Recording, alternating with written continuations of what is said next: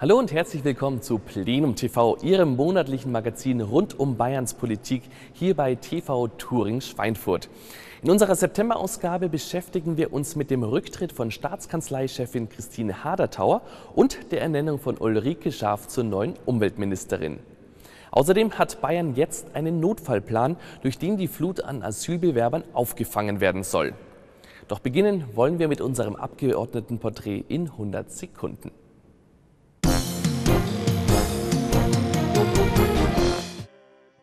Manfred Lendner, 55 Jahre alt, verheiratet, zwei Kinder und Abgeordneter im Bayerischen Landtag. Ich fühle mich kreativ. Ich, meine künstlerische Begabung spielt sich sicherlich nicht im Malen und Zeichnen ab. Was ich sehr gerne aber tue, ist formulieren, organisieren. Ich schreibe auch Gedichte hin und wieder.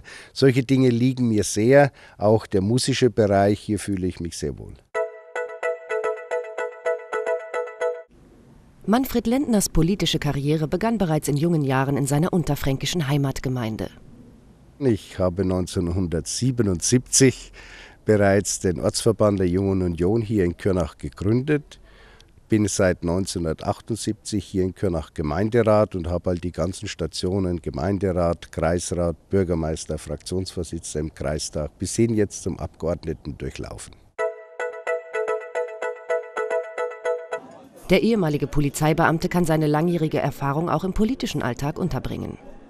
Ich fungiere als polizeipolitischer Sprecher der CSU-Landtagsfraktion und habe meinen Schwerpunkt naturgemäß auf Fragen der inneren Sicherheit, Fragen der Kommunalpolitik, Landesentwicklung, Ehrenamt.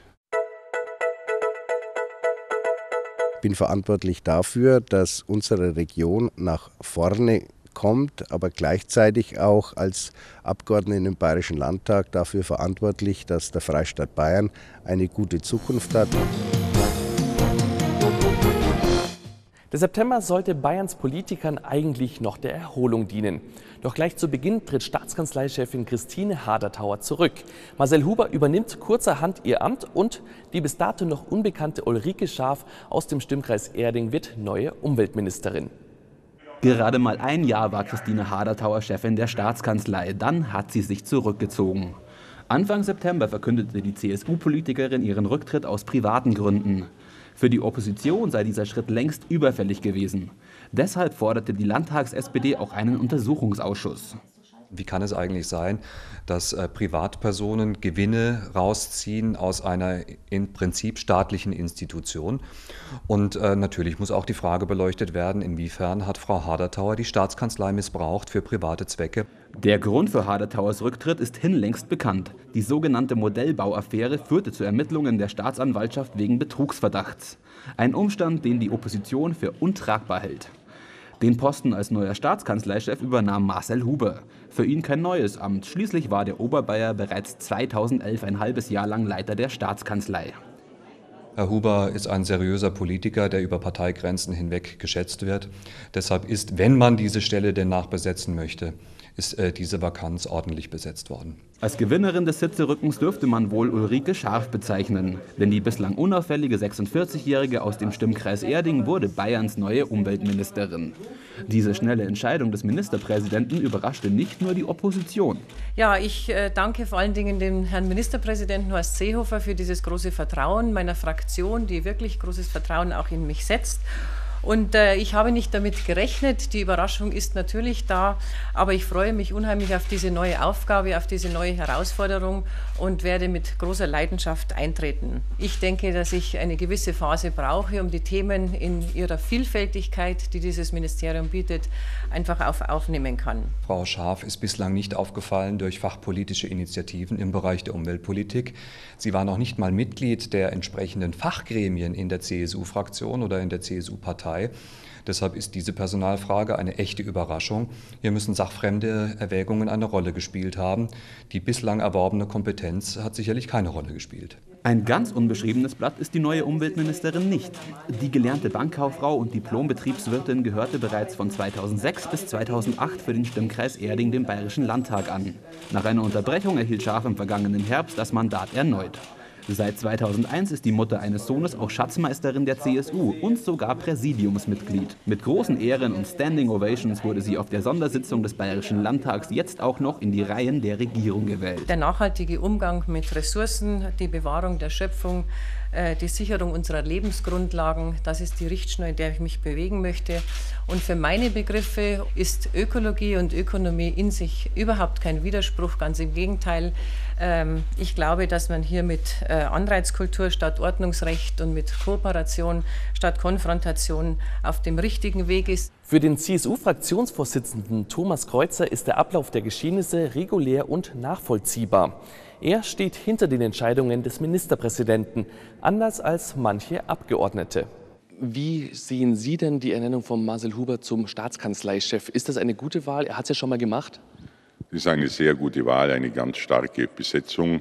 Marcel Huber war ja mein Vorgänger als Staatsminister in der Staatskanzlei. Er hat dies bereits gemacht, er hat dies gut gemacht und deswegen wird er eine große Unterstützung der politischen Arbeit sein und auch sein Verhältnis zur CSU-Landtagsfraktion, zu meinen Kolleginnen und Kollegen ist gut, ist entspannt. Dies wird eine gute Zusammenarbeit und ich gratuliere ihm. Nun ist ja der Posten äh, des Staatskanzleichefs in sehr kurzer Zeit sehr häufig vergeben worden. Ist das so quasi der Feuerwehrstuhl?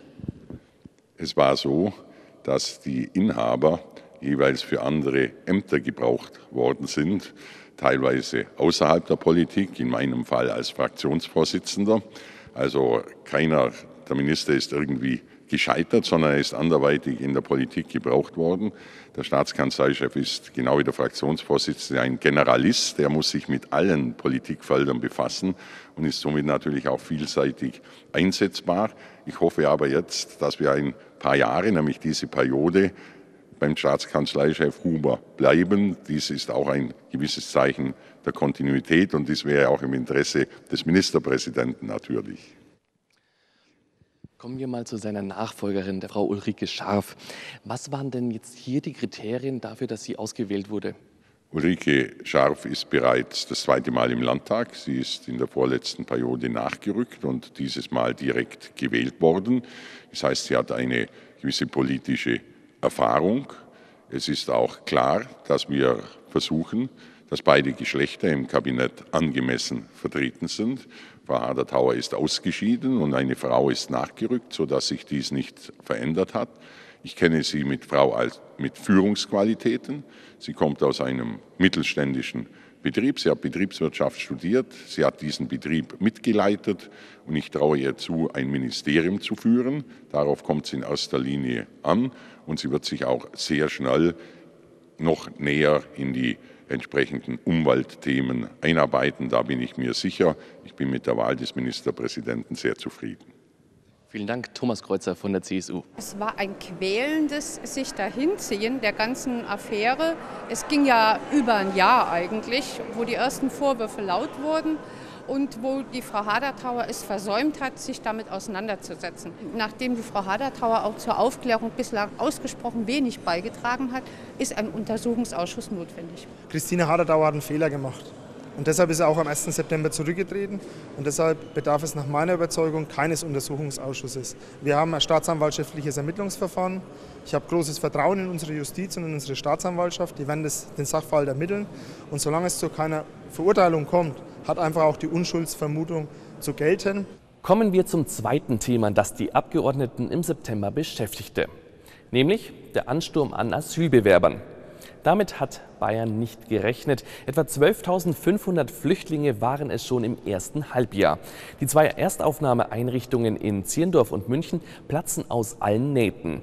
Dass dies so kommen werde, davor will die Opposition schon vor Jahren gewarnt haben. Nun will Sozialministerin Emilia Müller mit einem Notfallplan wieder Herrin der Lage werden. Und hierfür ist wichtig ein Dreiklang. Ich will das nochmal sagen, ein Dreiklang. Ansonsten gehen uns die Leute nicht mit. Zum einen, die ungerechtfertigte Einreise muss verhindert werden. Der zweite Punkt ist die Durchsetzung der Ausreisepflicht. Und der dritte Punkt ist die Hilfe für die zu Recht bei uns Schutzsuchenden. In Sachen Flüchtlingspolitik hat Bayerns Sozialministerin Emilia Müller klar definierte Ziele. Auf der Sondersitzung im Bayerischen Landtag wollte sie dem Sozialausschuss Rede und Antwort stehen. Dafür verließ sie sogar vorzeitig den Asylgipfel in der Staatskanzlei. Die Opposition nutzte diese Gelegenheit, um der Regierung mangelnde Aufklärung und zu spätes Handeln vorzuwerfen. Die Experten haben davon geredet, schaut man die Tagesschau an, hätte man wissen müssen, dass es noch höhere Zugangszahlen gibt. Und das Land Bayern hat sich auf diese Situation nicht eingestellt. Sie haben in der Asylpolitik vollkommen versagt. Und derzeit, das kann ich eigentlich nicht als Krisenmanagement bezeichnen. Äh, das sind für mich eigentlich äh, wirklich äh, außerordentlich fragwürdige Last-Minute-Actions. Langfristig hat die CSU in Bayern ignoriert, vollkommen ignoriert, dass äh, Deutschland und damit auch Bayern ein Einwanderungsland ist. Wir müssen schauen, wie wir schnell das jetzt lösen.